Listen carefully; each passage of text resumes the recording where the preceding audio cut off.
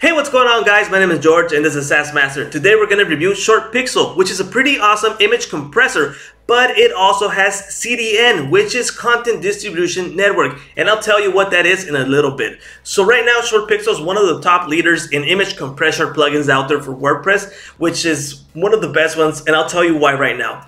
So right now I got running ShortPixel right here and you can see it's compressing my images by a whole bunch and I'll tell you what the benefits is when you compress images.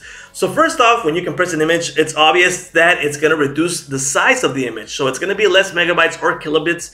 So that's going to help out a lot. And what does that help you with? So for example, let's just say you got a limited server. Uh, you bought a hosting plan and it's super limited and you got like such, such space available. So you want to make the most out of it. So what image compression is going to do is compress those images and take up less space, which is awesome. But the other benefit is that every time that a person visits your site, it's gonna take less time to load, which is awesome.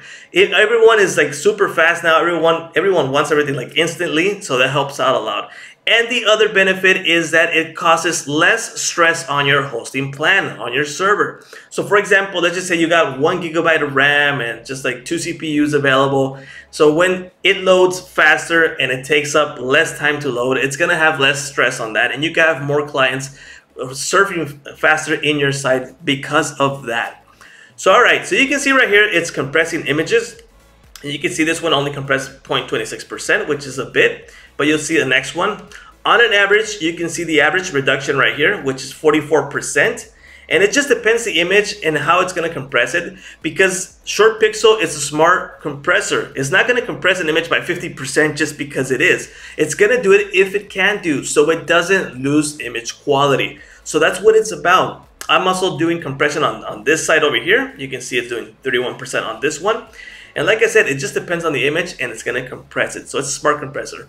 So what are the plans that ShortPixel has? ShortPixel has like a free plan if you wanna use it, which is 100 credits a month. That means each credit is one image compressed. Now you can buy a monthly plan, which you can see right here, or you can do a one-time payment. This would work, for example, in my case, I have a classified ads site where it has a whole bunch of images. I mean, imagine how many images there is right here. So I would buy like a bulk plan and then I would buy the monthly plan. That's what I would do. And that's what I did. So this is how it works. And it's going to take up my credits until it reaches. And then it'll, it'll start working on my monthly plan. Now, how am I going to add ShortPixel to WordPress? Super easy also. So first thing we're going to do is head on over to sub accounts here on the left. And from the images I have available, I can create my client. So I'll just say Mexico charcoal. We're gonna install it right now. And how many credits do I want to give this site? So for example, let's just say this site has not a not a, a lot amount of images and they upload like once a month. So 100 is okay. So I just add the sub account, which I already done right here. So what I'm gonna do is head on over to my WordPress site. I'm gonna log in and over here on the left, you can see plugins. I'll add a new plugin head on over to add. And here on the search plugins, I'll put short pixel. So here on the ShortPixel, we got the two main plugins, which is the image optimizer compressor and the ShortPixel adaptive image, also CDN.